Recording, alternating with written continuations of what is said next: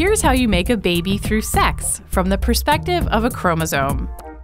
When mom makes an egg, her chromosomes double, divide, and then divide again. Some end up in the egg, the rest are discarded into much smaller polar bodies. Now we have an egg, it meets a sperm, and it's baby business time. Let's go back to the part where the mom's chromosomes separate.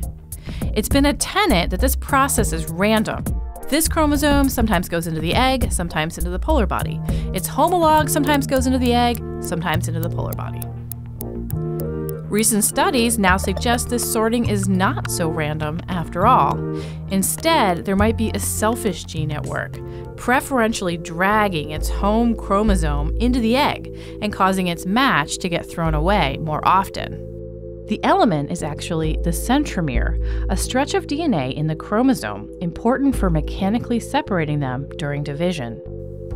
It's the anchor point for the spindle, the spot on the chromosome that gets pulled on by the machinery of the cell. It turns out there are strong centromeres and weak ones, and the strong ones get passed down preferentially. How is this a selfish gene? Well, centromeres are repetitive stretches of DNA. In fact, centromeric repeats are the most abundant non coding elements in the human genome.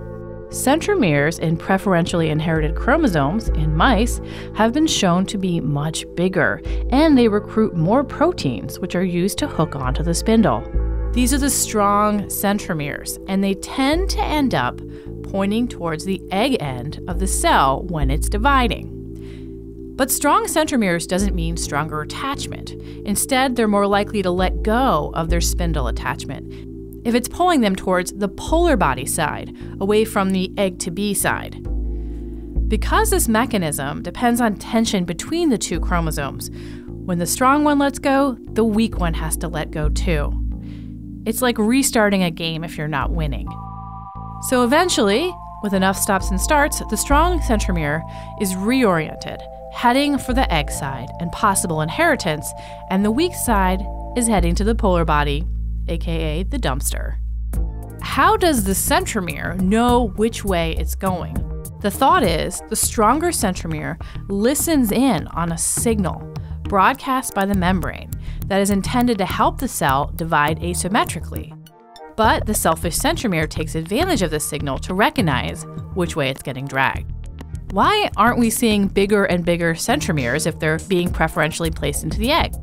It turns out that what's good for these genes might not be great for the egg or the body, making these strong centromeres truly selfish genes.